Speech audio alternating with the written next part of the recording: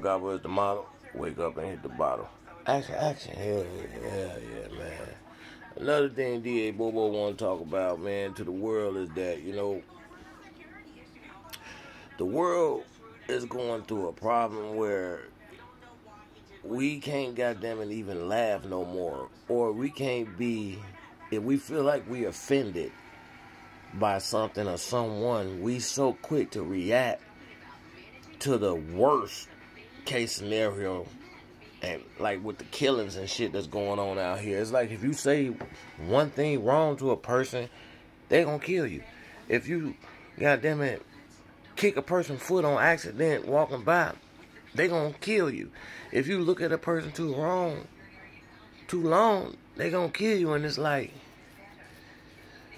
what the fuck is going on? And it's crazy because not only that is that you could be goddamn just working a job and motherfucker run in there and kill you.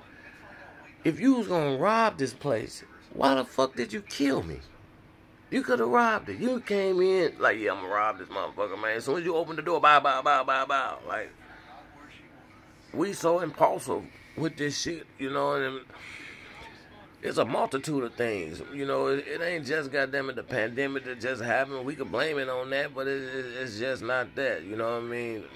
The youth, goddamn it, goddamn it, is lost like a motherfucker right now, man. Uh, all these goddamn it YouTubes and videos and Instagrams about how these cats is doing all this and yeah, if you talk that shit to me, I'ma kill your ass and bitch ass and then that shit just struck a struck a wave, goddamn it, on a motherfucker and that's what it is right now. But it's like one thing I will say is this, man. You cats are so quick to react to someone saying something on social media, calling you a bitch or you a hoe, and I took your girl and I fucked her and woo woo and whatever. And then you go out here and kill this person. When you go to jail, you're gonna be around that shit 24 7 seven days a week with no gun. So you should be irritated like a motherfucker. If you partially irritated out here, then stay out here.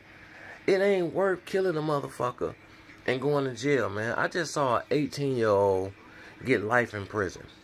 That's fucked up. But at the same time, what the fuck he did was fucked up. And it's like, he had the nerve to say he ain't a bad person. What? Come on, man. Come on, man. And it's fucked up, man. It's fucked up out here, man. From age 12 to 31.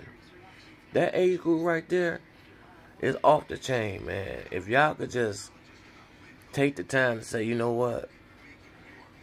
Words never hurt me like they did back in the 60s. Sticks and stones may break my bones, but words will never hurt me. That's a true statement, man. You know what I'm talking about? Because they ain't shit but words. To take another life because he fucked your girl or called you a bitch or beat you up, beat your ass up, it ain't worth taking a life for, man. Most of these cats can't even fight. So the first thing they want to do is use guns. Because I saw some cats that had a fight. And motherfucker was swinging like this. I said, nigga, that ain't how you fight. You bam. You know what I'm talking about? So they can't fight. So they scared to lose. They they gonna be embarrassed because people gonna laugh at their goofy ass. And then so what they do is say, okay, nigga, I'm a man. I'm bow bow bow your ass. But then you finna go in that motherfucker and sit in a confined area with an ID on your chest, no pussy, can't go to Walmart, can't go to Super America, can't drive a car with a cigarette in your mouth. You can't do none of that shit no more. All you could do is stand up for counting 940, nigga. Gobble.